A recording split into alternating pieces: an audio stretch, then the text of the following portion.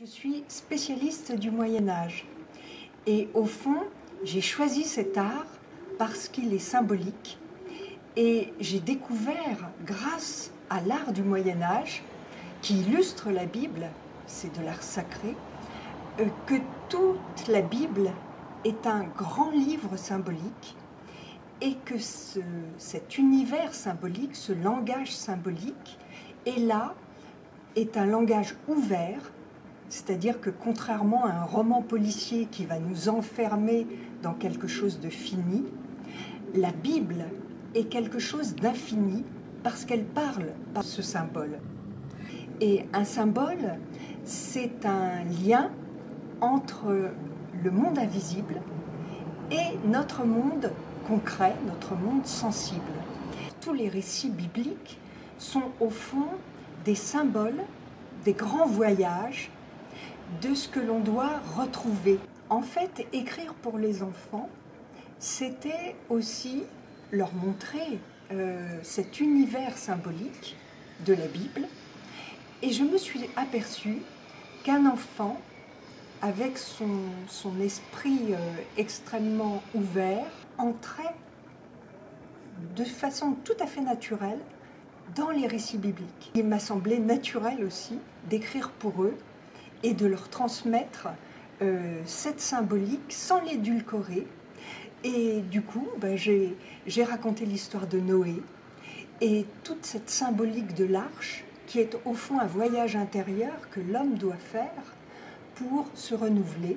Et l'histoire des saints m'intéressait particulièrement pour les enfants parce qu'il montre des récits où le personnage n'est pas un héros d'emblée c'est pas un, homme d'emblée parfait, c'est quelqu'un qui devient parfait, qui fait un chemin de perfection et qui euh, subit des épreuves, euh, subit des moments de doute.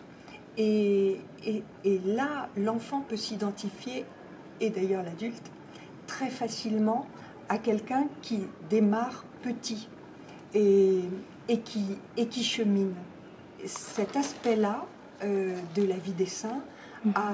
permet de structurer très, très profondément la psyché de l'enfant. Les enfants ont une capacité d'émerveillement.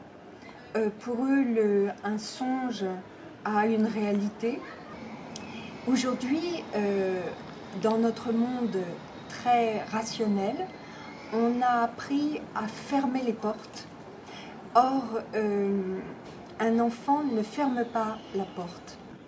Euh, alors que nous, nous sommes dans la rationalité, nous avons besoin euh, d'enfermer le monde dans nos logiques et on se coupe, on se stérilise, alors que la Bible, au contraire, est quelque chose de fertile et nous permet de justement de faire tomber nos barrières.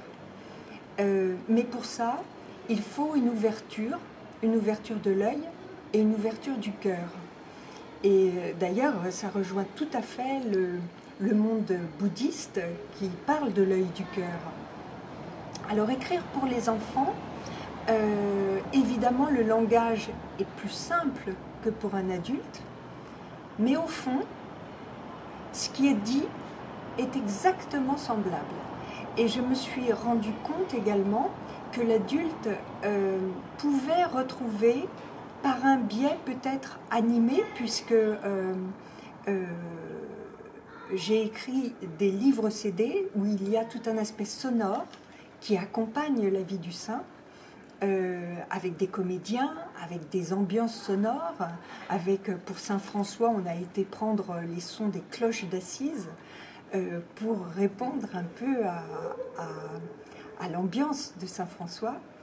Euh, alors je me suis rendu compte que l'adulte pouvait retrouver un état d'enfant et étrangement être beaucoup plus perméable à ce qui était transmis et comme un espèce de bien-être qui s'installait en retrouvant un état ludique un état où il pouvait s'émerveiller, où il avait la capacité de partager avec, avec l'enfant quelque chose de poétique, euh, peut-être euh, de plus léger que d'habitude, mais qui euh, répondait à quelque chose de très profond, qui de nouveau fleurissait, qui de nouveau s'ouvrait.